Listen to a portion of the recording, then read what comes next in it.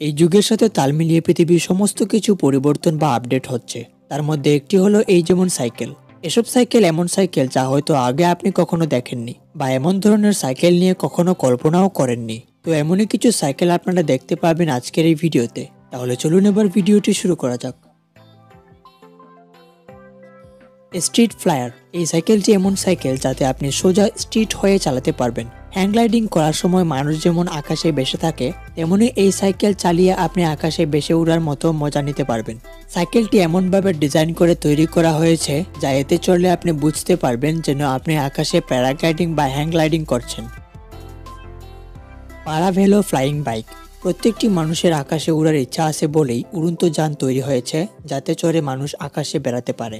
আর এমনই একটি উদ্ভাবন হচ্ছে এই সাইকেলটা যাতে চড়ে আকাশে উড়ে বেড়ানো সম্ভব। অ্যালুমিনিয়ামের ফ্রেম, তিনটি চাকা, একটি পাখাযুক্ত মোটর ও প্যারাশুট দিয়ে তৈরি এই সাইকেলটা অনেকটা লাইট ওয়েট মানে হালকা।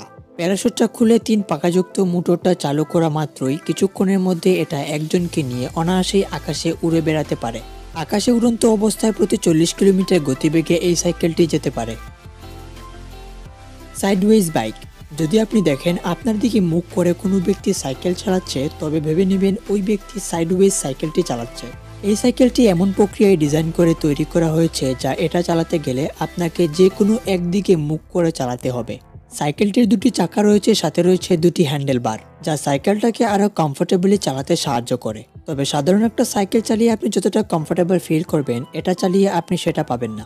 আর এমনও হতে পারে হয়তো বা এই সাইকেলটা তৈরি করা হয়েছে এন্টারটেনমেন্ট পারপাসের জন্য। হ্যালবার্ড হাফ বাইক এই বাইকের নামের সাথে কাজের একশো পার্সেন্ট মিল রয়েছে। কেননা বাইকটির নাম যেমন এটা দেখতেও সেরকমই। সাইকেলটি উচ্চতায় এক মিটার এবং লম্বায় উনআশি সেন্টিমিটার। সাইকেলটির সামনের চাকা ছোট এবং পেছনের চাকা বড় হওয়ায় প্রথম দিকে সাইকেলটি রাইড করা বেশ কঠিন মনে হতে পারে। তবে মাত্র দুদিন প্র্যাকটিস করে নিলেই এই সাইকেলটি খুব সহজে চালানো সম্ভব। আশ্চর্য ব্যাপার হলো যে সাইকেলটির হ্যান্ডেলবার দেওয়া হয়েছে সিটের নিচে, যা সাইকেলটি সবারই দেখতে কিছুটা অদ্ভুত লাগতে পারে, তবে এতে কোনো প্রকার সমস্যা হয় না। আর দেখে তো মনে হচ্ছে এই সাইকেলটি রাইড করা বেশ মজাদার হতে পারে। লুনাট্রিক সাইকেল আঠারোশো শতাব্দীতে যখন সাইকেল আবিষ্কার হয়েছিল, তখন তার ডিজাইন দেখতে এমন ছিল, তবে সময়ের সাথে সাথে এমন ডিজাইন বদলে গিয়েছে।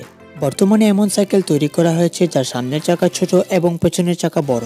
এই সাইকেলের সামনের চাকা ছোট হওয়ায় হ্যান্ডেল ধরে ডানে বামে ঘোরাতে অনেকটা সুবিধা হয়। লক্ষ্য করলে দেখতে পাবেন, সাইকেলটার পেছনের চাকায় কোনো স্পোক লাগানো হয়নি এবং এটা চালানোর জন্য কোনো চেইনও লাগানো হয়নি। সাইকেলটি চালানোর জন্য এতে চেইনের বিপরীতে বেল্ট লাগানো হয়েছে। দুঃখজনক একটা ব্যাপার হলো যে এই সাইকেলটি এখনও বাজারজাতের জন্য তৈরি করা হয়নি। শুধু এক পিস তৈরি করা হয়েছে, তাও আবার প্রোটোটাইপ মডেল হিসেবে। তো গাইস এই পাঁচটি সাইকেলের মধ্যে আপনার কোন সাইকেলটি পছন্দ হয়েছে তা কমেন্ট করে জানাতে পারেন। আশা করি ভিডিওটি আপনাদের ভালো লেগেছে।